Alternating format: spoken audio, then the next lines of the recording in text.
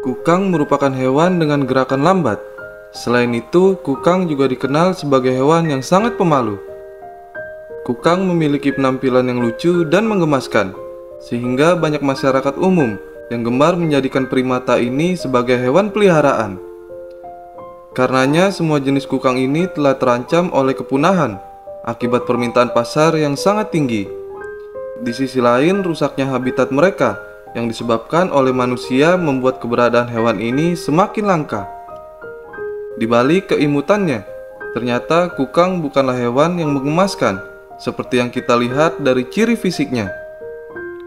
Kukang adalah hewan yang kontradiksi. Meski fisiknya tampak imut dan bermata besar, tetapi hewan ini juga beracun, bahkan mematikan. Kukang telah dilindungi oleh hukum Indonesia sehingga memperdagangkannya tergolong melanggar hukum dan kriminal.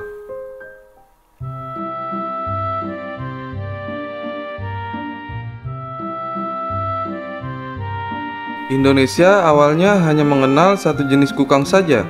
Seiring penelitian yang terus berkembang, kukang Indonesia terbagi menjadi tiga jenis berdasarkan wilayah sebarannya. Namun kini kukang Indonesia terbagi lagi menjadi tujuh jenis yang berbeda. Jenis-jenisnya yaitu kukang Sumatera, kukang Jawa, kukang Kalimantan, kukang Borneo, kukang Kayan, kukang Bangka, dan kukang Sumatera bagian utara. Kukang merupakan primata yang masuk dalam golongan primata primitif nokturnal, yaitu sejenis hewan yang lebih banyak beraktivitas ketika malam hari dan tertidur di siang hari. Apabila masuk dalam primata primitif, maka itu artinya hewan ini memiliki ciri khas yang sedikit berbeda dari primata kebanyakan lainnya. Beberapa di antara primata lainnya yang memiliki hidung yang basah, serta indera penglihatan yang berfungsi lebih baik ketika berada di tempat gelap.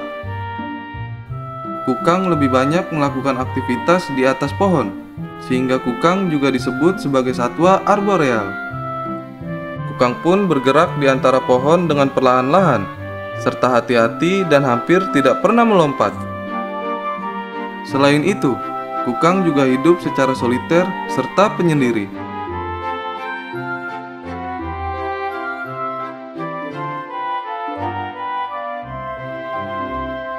Kukang adalah primata bertubuh kecil, kekar, dan berekor sangat pendek. Kepalanya bulat, moncongnya meruncing, dan matanya besar. Di malam hari, Matanya memantulkan cahaya obor dengan jelas. Tangan dan kakinya hampir sama panjang, sehingga kukang dapat merentangkan tubuhnya dan berputar untuk meraih ranting. Kukang memanjat dan bergerak di antara rating dan cabang pohon dengan perlahan-lahan dan hati-hati. Tangan dan kaki itu telah mengalami adaptasi sedemikian rupa, sehingga mampu memegang erat Perantingan dalam jangka waktu cukup lama tanpa membuat kukang kelelahan. Gigitan kukang dikenal berbisa, suatu kemampuan yang jarang terdapat di kalangan mamalia. Bisa tersebut didapat kukang dengan menjilati sejenis kelenjar di lengannya.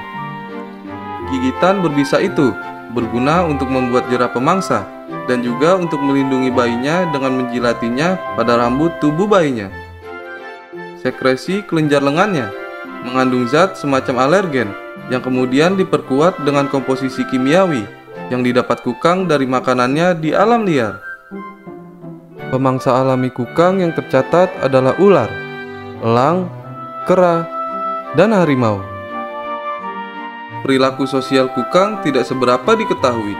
Akan tetapi, hewan ini salah satunya berkomunikasi lewat bau yang ditinggalkannya di tempat-tempat tertentu. Binatang ini lambat dalam hal reproduksi. Anaknya yang masih kecil kadangkala ditinggalkan di ranting pohon. Kukang bersifat omnivora, memangsa hewan-hewan kecil, buah-buahan, getah pepohonan, serta berbagai nabati lainnya.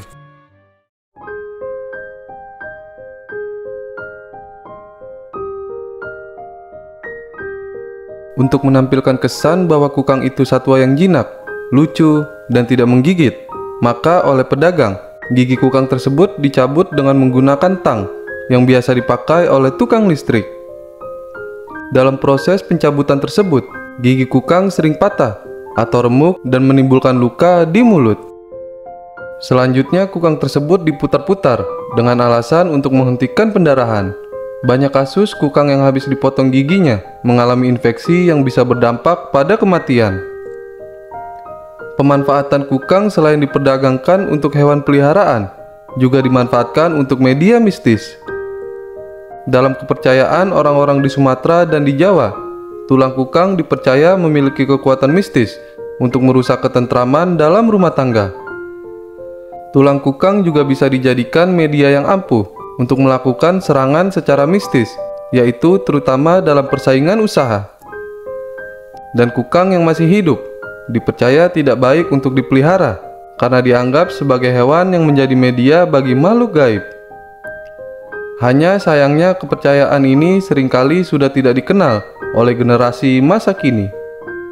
Berdasarkan pemantauan profauna di sembilan pasar burung di Pulau Jawa dan Bali, Kukang merupakan salah satu jenis satwa yang diminati pembeli dan ditemukan hampir di semua pasar satwa atau pasar burung. Menurut Undang-Undang Republik Indonesia Nomor 5 Tahun 1990 tentang konservasi sumber daya alam hayati dan ekosistemnya, Pasal 21 Ayat 2, perdagangan dan pemeliharaan satwa dilindungi, termasuk kukang adalah dilarang. Pelanggar dari ketentuan ini dapat dikenakan hukuman pidana penjara 5 tahun dan denda 100 juta. Sementara itu, Badan Konservasi Dunia memasukkan kukang dalam kategori rentan, yang artinya memiliki peluang untuk punah 10% dalam waktu 100 tahun.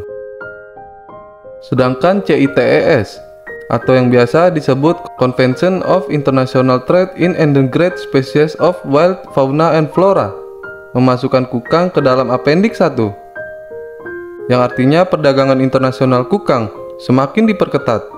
Perdagangan kukang tidak boleh lagi hasil penangkapan dari alam, tapi harus hasil dari penangkaran. Masuknya kukang dalam appendix 1 akan memberi perlindungan yang lebih maksimal bagi kukang, sehingga kukang di alam akan lebih terjamin kelestariannya. Tiada kata yang dapat terucap kecuali ucapan terima kasih kepada teman-teman yang sudah menonton sampai menit ini. Dan tiada jasa yang bisa terbalas, kecuali doa untuk teman-teman semua atas support dan dukungannya kepada Nada Rimba. Jika teman-teman suka dengan pembahasan ini, like, share, komen, dan subscribe. Karena dukungan teman-teman sangat membantu Nada Rimba agar tetap semangat dalam memberi pengetahuan kepada teman-teman semua.